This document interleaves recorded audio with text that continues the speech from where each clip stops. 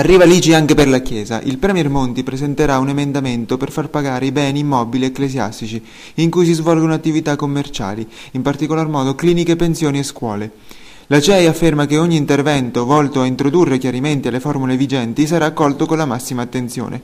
L'emendamento sull'ICI dei beni immobili della Chiesa potrebbe portare un introito di circa 500-600 milioni di euro, mentre lo studio dell'IFEL parla di un miliardo di euro in più.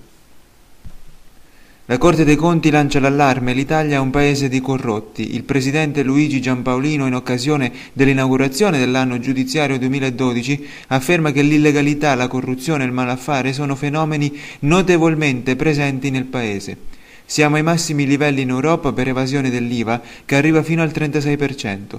La Corte dei Conti creerà delle regole di comportamento da far rispettare alle amministrazioni pubbliche, dove incarichi e consulenze date dalle amministrazioni a soggetti estranei sembrano invece seguire obiettivi personalistici al di fuori dell'interesse pubblico.